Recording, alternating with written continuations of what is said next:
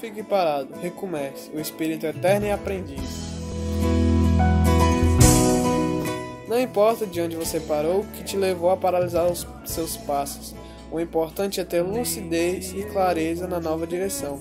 Os pés estão fustigados pelo caminho pedregoso de até então.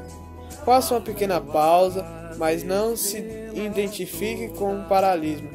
Respire fundo, calce o calçado da esperança e da vontade e siga em frente. Escolha um novo rumo e recomece. E não tivesse um amigo, nada teria